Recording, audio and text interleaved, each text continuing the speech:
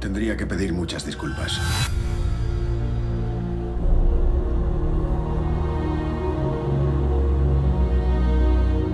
Nada ha sido igual desde lo de Nueva York.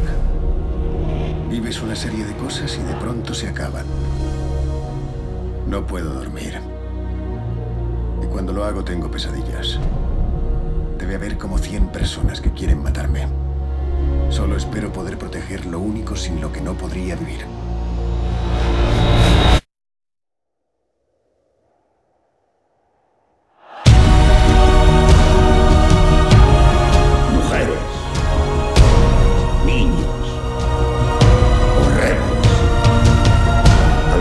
Me llaman terrorista.